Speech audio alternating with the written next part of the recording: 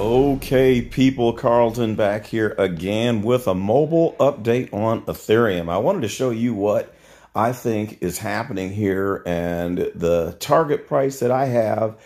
And the one indication that I put on my chart that before I even heard of people that were saying the target that we're going to get that I was I was already feeling this way. So on the chart we can see we are experiencing this little whipsaw action right here after the big pump and the peak up above 600 and I had posted on my Telegram channel that my big wish was that we would have a rejection right up here where we see the price line bumping the head of the 1.618 big red Fibonacci uh, ring. And then also the big blue one. I think the blue one is the 2.618. I think I'd have to scrunch it down to see.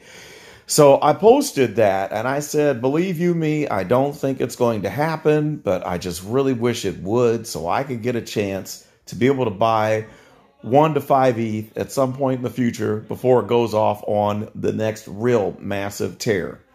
Well, lo and behold, it did. So it peaked out at this price and we got rejection at right underneath both of those fib circle rings. And the the one thing that was letting me know that it's possible that it could come back down, I had this ascending trend line right here. Do you see this blue line coming up? And I thought, well, this is the overall trend. And if we can correct and come back down to that point, we should have some bargain basement prices to jump into Litecoin. Now, you also see or Litecoin, Ethereum. I'm losing my mind. You also see that that blue ascending trend line runs through my green box, my kill zone box, the strike zone, okay?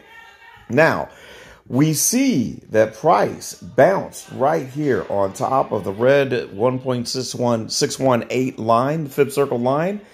And if we bounce on that a few more times, I think we're going to fail that line. In fact, I know we're going to fail it. My target is at least down here at the top of the box, which is a price of 420, but I think there's a chance that we could even go below this box. Why? Well, first of all, we got some volume nodes that are going to attract price. Here's one right here that is around what? Is that around $500? And then we have our next volume node, which peaks out right at the top of the box, which is at 420. And then we have the point of control. That's where the uh, Ethereum value. That's the value price, which is sitting at $386 right here. And then there's one more node that peaks out below that. So there's a possibility we could drop below that box. Chances are we're going to make it into this zone and then start to move back up. And it's all going to be depending on what Bitcoin does.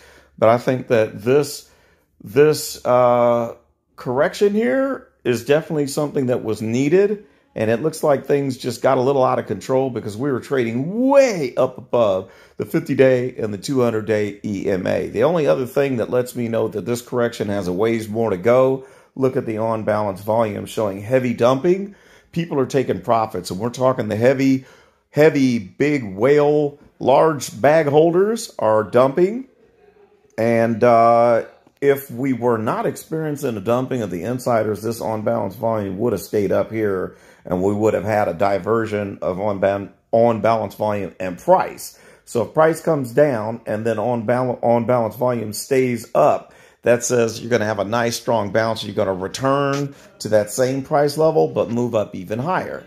Well, we didn't get that. We see that we had a dump and we had a corresponding dump on the OBV, which says that we're probably going to be headed back towards the value price because where we're trading right now is certainly not a value when you add the fact that the on balance volume showed that dump. So stochastic looks like it's already at the bottom and headed up to another up cycle.